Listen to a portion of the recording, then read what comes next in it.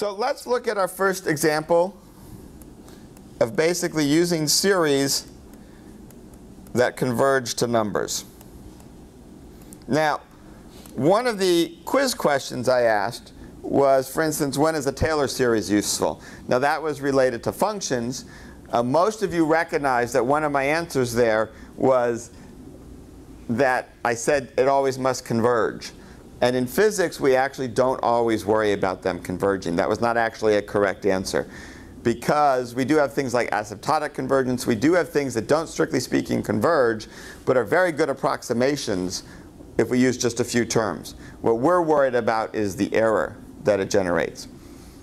Now, with series that give us numbers, one of the most famous examples is the geometric series.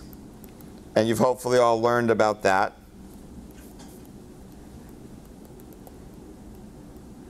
It's a constant, in this case r, that's multiplying everything. And then it's increasing powers of r, and r is some number that you're going to plug in. And we can define some various pieces to this. There is the finite version of it, which is the sum from n equals 0 to capital N minus 1 of AR to the n, and that's defined to be S sub n. Notice since I started at 0 to get capital N terms, I go to n minus 1, because I'm not starting at 1. I can make this an infinite series the sum from n equals 0 to infinity of ar to the n.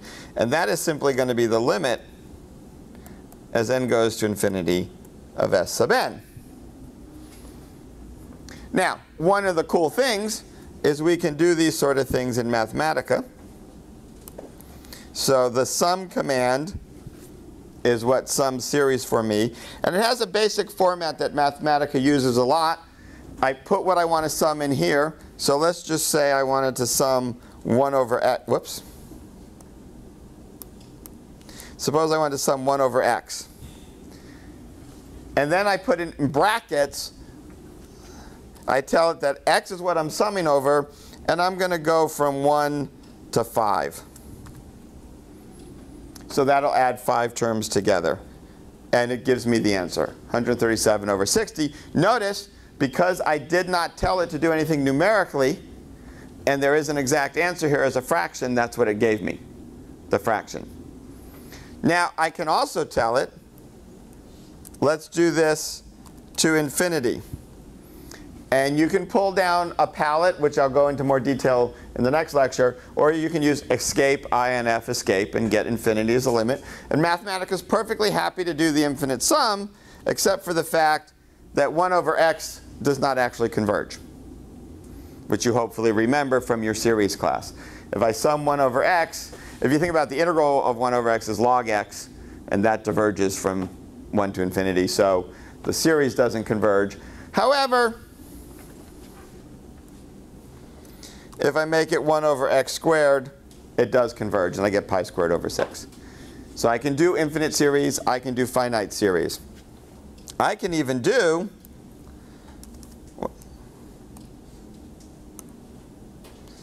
I can even do the one we were about to do. So let's just let a equals 1, and we'll do r to the n. And we'll go n from, yeah, let's, let's just do the infinite case, from 1 to infinity. And notice I get minus r over minus 1 plus r. And we'll see that that actually is the answer for this limit when we look at it in more detail. Oh, actually, no. I'm sorry. We're going to be do doing 0 to infinity. I forgot a term.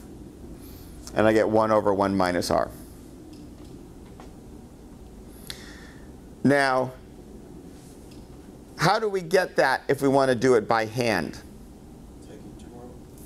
Well, you could do that, but one of the cool tricks in physics. So I will do a limited number of proofs in this class and derivations.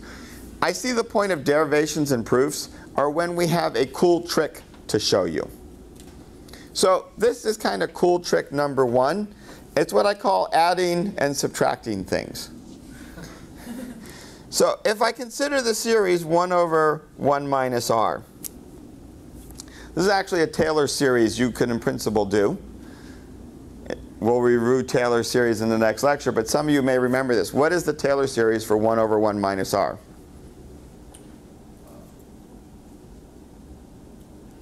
Can you get the first two terms? If I write it as 1 minus r to the minus 1,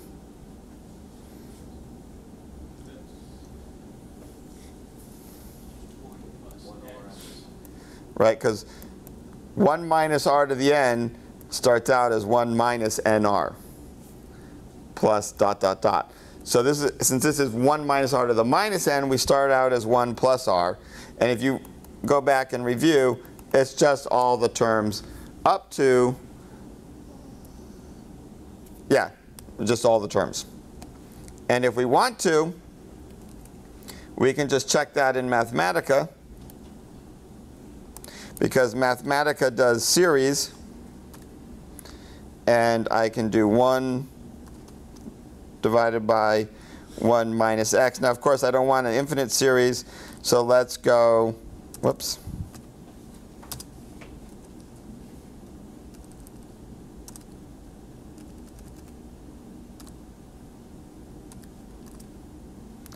Uh, oops. We're going to go three terms and we're going to expand about 0. Did I type that in the right way? Oh, no, I expanded about 3, sorry. We're going to expand about 0. Let's go ahead and take four terms. There we go. So the notation here for series, as I said, we put the thing we want to do. We're going to use curly brackets. If I, I, I knew it was either expand about and then the power I wanted to go to or the other way. I couldn't quite remember. I took my guess, or I could look it up in the help function. But I'm going to expand about 0. I'm going to take four terms. And sure enough, I get 1 plus x plus x squared plus x cubed plus x fourth plus order x to the fifth, which is enough terms in physics. We know it's never going to change. And so it's just plus x to the n all the way out. Now here's where our math tricks come in. So what if I take r to the n over 1 minus r? What is that going to look like?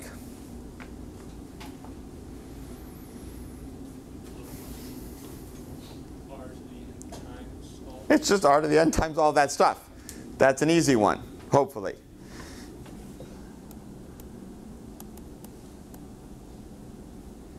Then plus 1 plus dot, dot, dot, dot. Now, having done that,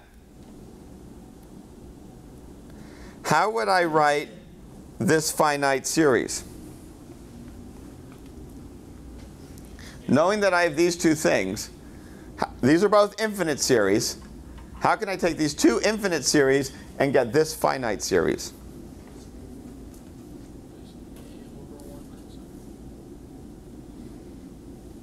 Ignore the a's for a moment. A factors out of everything. If you need to, ask the person next to you. How do I use these two infinite series to make this single finite series?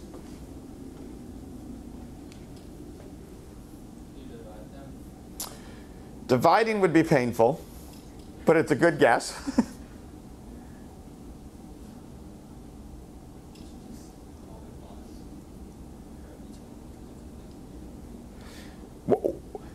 What, what's my goal?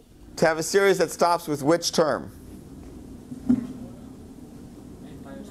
n minus 1. So what do I want to do?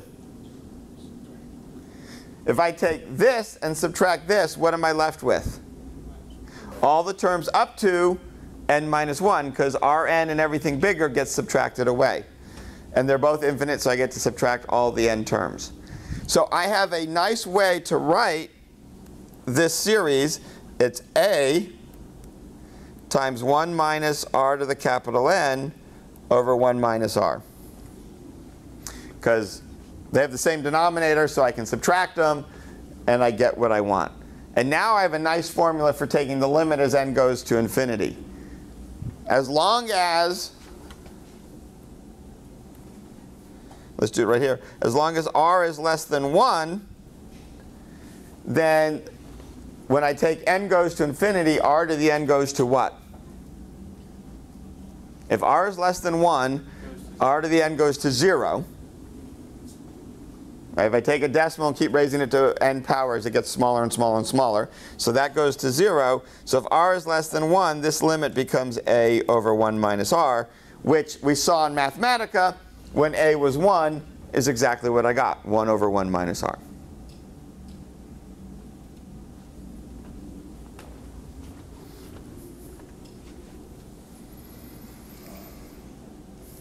So again,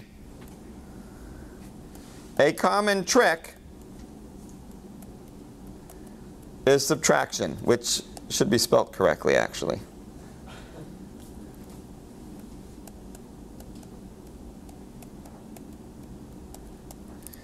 And that is, it, just is one of these things we do. Now, in principle, perhaps with Mathematica you say, oh, I don't need to know that anymore because Mathematica did all this in shorthand.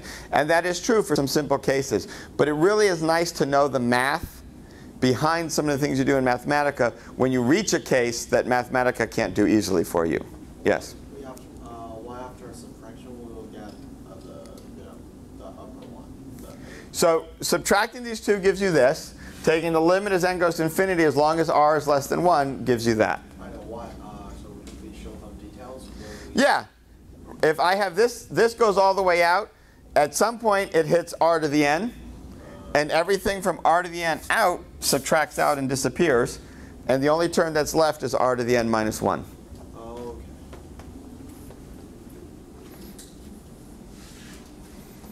So I just want to close with an actual practical example. So this shows you one little hint of some of the things we do with series. We worry about ways of summing to get numbers. These infinite series gives us numbers under certain conditions. And they, you'll see some homework problems where series like this, like geometric series, show up as your way to figure out a problem. A common one, the homework problem you have is stuff bouncing around in a box and a certain fraction escapes each time. So that ends up being your r, which is less than 1 because it's a fraction escaping. So this series will converge and you can find out how much stuff is where you want it. Another example of using a series is a classic problem of how many blocks can you balance at the end of a table before it falls? And how far out can you stick them? Now, the first block, the farthest out you can put it is where? Halfway, or it falls. And the reason it falls is the torques don't balance. So you have a normal force up from the table, and you have an mg down from its weight, and you want them aligned with each other, and then you get zero torque. So that's the first block. The idea here is the sum of the torques is equal to zero. Now I'm not going to do this in super detail, but I'm going to just sketch the idea. For the nth block, you have, and I'm going to, whoops, I'm going to count down from up here. Block 1 is on the top, and then I count down. The nth block has n blocks on top of it, and it's over some distance x sub n from the side. And so it's sitting there. Its mg is still in its middle, and its normal force is up at some point. And the normal force has a value of n times mg. That's the number of blocks sitting on top of it, right? The normal force up is based from all the blocks coming on top of it. And so if I'm going to balance torques, I have an xn, that's where the normal force is acting, times the value of the normal force is going to balance mgl over 2. So the series I'm going to get out that I have to sum will go as L over n. So when I look at the total distance out, it'll be the sum over all the blocks of x sub n, and that's a sum over all the blocks of L over 2n. And what did we say about the series 1 over n? Does not converge. So in principle, I can go an infinite distance out by stacking my blocks if I have an infinite number of blocks. So I can go as far as I want. What's the challenge, and this is where the physics comes in, is your x sub n have to keep getting smaller and smaller. And there is a physical limit on your resolution there as to how small you can really make x sub n. So you do actually have a limit because at some point you're not really going to be able to make x sub n any smaller just from limits of precision and accuracy. So that's a physical limit in a mathematical case where in principle you can go out to infinity. Make sense? The, the L is the length of the blocks, and the L over 2 came from that. The torques from gravity are always at the middle, because the weight's always in the middle. Like I said, I, I, the, the detail of solving the problem was not the main point. The main point was that you often get these series that are solutions to physics problems that, on the one hand, have a technical solution that, say, is an infinite distance, but has a practical issue that when you actually try to construct the solution, you're going to run into trouble. And that's the difference really between math and physics. So next lecture we'll go into series with functions and maybe start some complex number stuff. We will see you tomorrow.